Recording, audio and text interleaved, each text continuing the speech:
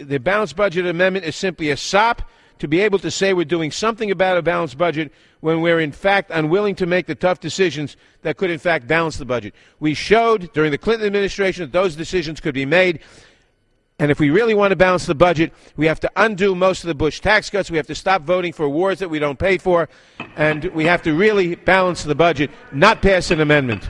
The, the uh, $50,000 per American citizen in debt is not prosperity. But the $60 trillion in future obligations that we have yielding this result is definitely not prosperity for our children and grandchildren. That is why we need the discipline that a balanced budget amendment to the Constitution provides. That is why this is a bipartisan vote. That is why dozens of Democrats will join us today in enshrining in our Constitution something that will require that future Congresses balance a budget. I urge my colleagues to join us in this matter.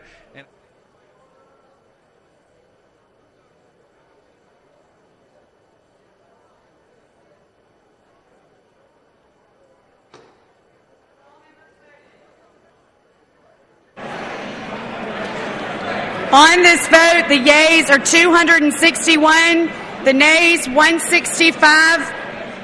Two thirds not being in the affirmative, the rules are not suspended, and the joint resolution is not passed.